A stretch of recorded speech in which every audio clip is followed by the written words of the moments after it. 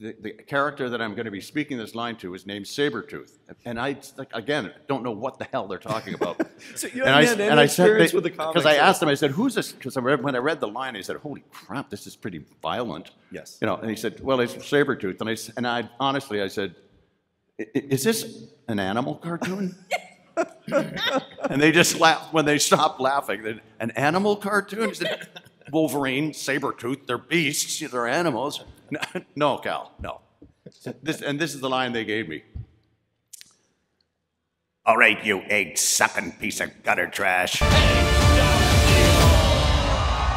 And Cal, you were born in a land far, far away from here, correct? Many moons from here. Yeah. Tell the folks where you're originally from. Pardon? Tell the folks where you're originally from, where you're born. Dublin, Dublin, Ireland. Yeah. Yep. Great city. Two, bro- uh, five in the family. Fiona was the oldest. Myself, she was born in the north of Ireland. I was born in Dublin. So was Barry, and Rory and Sean were born when we came over to this, the other country, Canada. The other one, yes, Canada. north of the Great Way, north a little bit. Do you ever get to back? Get, do you ever get back to Dublin at all? I beg your pardon? Do you ever get back to Dublin at all? You go back to Dublin? every- To Ireland? No, the last time I was there was with my mom. She's no longer with us, but uh, in '89. Okay. Yeah. All so- right. And met relatives I had never met before in my life, and it was just wonderful to do that. When did you move to Toronto? What uh, about what age? When did I move to Mm, Toronto? About what age were you? 22 or something like that. 21 or 22. Okay. Yeah, 21. So just even growing up in Ireland and then move, you know, what like what kind of kid were you growing up? Like, what, obviously you you've now all inhabited these iconic characters too, but like just as a kid, were you gravitating towards some of those things? Or I know there's a lot of music in your background too. So Every, everything was music. That's, Yeah. that's all that mattered to the entire family, an Irish family. And we toured as a family. Mom would play the piano, and we would, the four of us, because Sean was born blind and deaf, the last, uh, my last little brother. And um, so there were four of us that would sing and go around to different functions, whether conservative party or liberal party, we would change the name. To if the song is "If you're Irish, come into the parlor. If you're liberal, come into the parlor." And run across the street to the conservative people. If you're conservative, and, and and nobody caught on to that. and like if we, if we were at the supper table ordering, like, can you pass the butter? Like, there was never every, please. It was like, butter, and then in automatic, it would go into four part harmony. Butter, butter, butter, butter, butter. That, you know, it was, so the whole life was Wait like a that. minute. Did this transition into part of Larry's? Wasn't there? Did you? Was it Parkay? Were you doing the the, the Parkay margarine commercials too? No. Okay.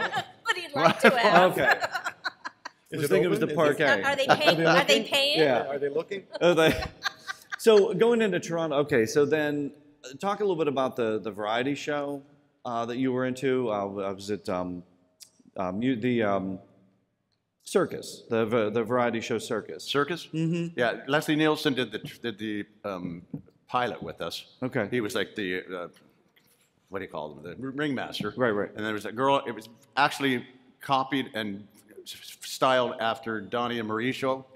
The girl looked just like Marie. I was Donnie Osmond. And uh, we went to Vegas to sell the show to, to Viacom, who ended up buying it, and met Donnie Osmond and Marie Osmond. It was kind of cute. And um, that that was from 78 to 83, 82 Yeah. or 83, five years. And you were And also in a band before that too, like Deja Vu. Pardon? Deja Vu, the Yeah, band. yeah, we, we toured with Joe Cocker. I was just telling you that. Wow. And, and it was uh, to replace Three Dog Night folded in the, in the U.S. And that was a, they were a big popular group. And so they found three singers in Canada, three of us, and um, I put the band together. and We rehearsed underground for like eight, ten months, and then went to New York, recorded the album, and toured with Joe Cocker. And I got tired of it, tired of it after two years because I was working very hard doing. I was like the guy in Canada for singing jingles, like you know commercials Right. for beer, bras, cereals, whatever. And they'd fly me to New York and Chicago to do different Okay. commercials.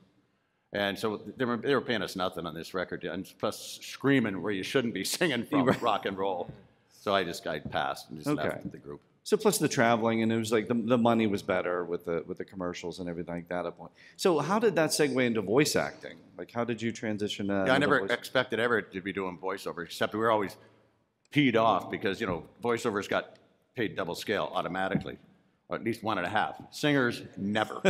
Singers were always just scale, and we didn't have we didn't have agents. Right. There was no agents for singers, it was just- but voiceover people did. So they got like at least one and a half, so pay their agent, their 15%, whatever.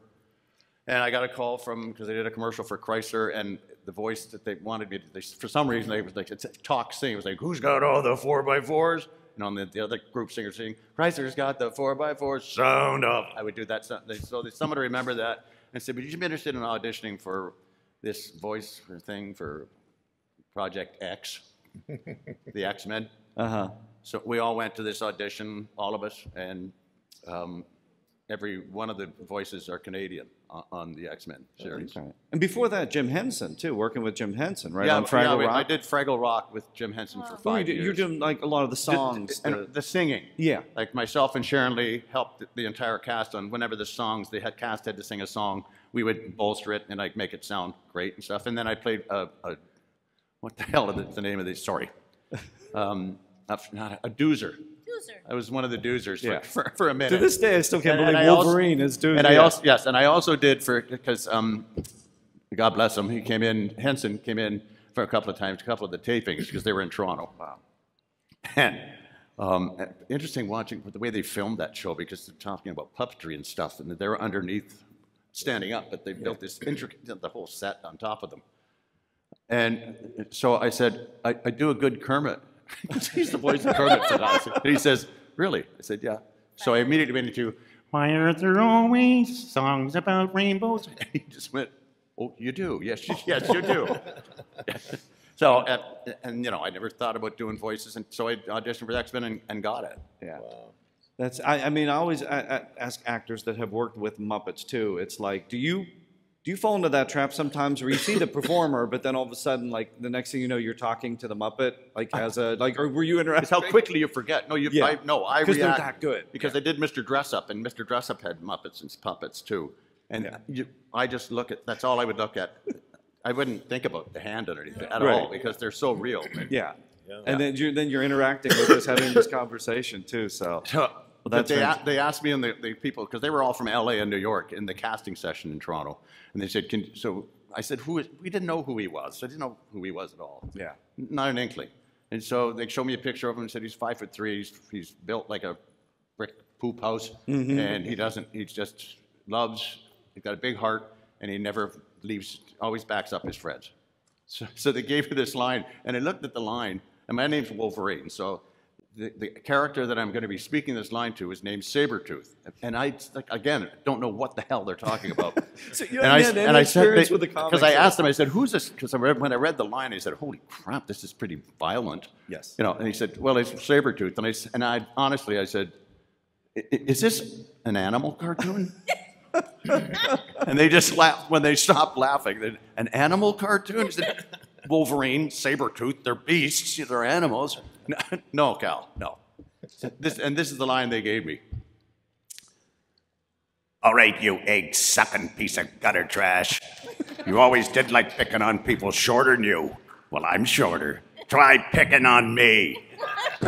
And they, they were behind the glass and they just went, Holy shit. and they just fed me a bunch more lines. And I went, I went home and I got that wonderful call. We'd like you to be our Wolverine. I'm like, jeez, oh, okay. wow. I'll have to check my calendar. Did you, did you start going buying comic books at that point and just going through comic books and look, learning about the characters? And my wife did. She went when I Okay, got well, home. She had you like two comic books for me to read. Yeah. Eggs out the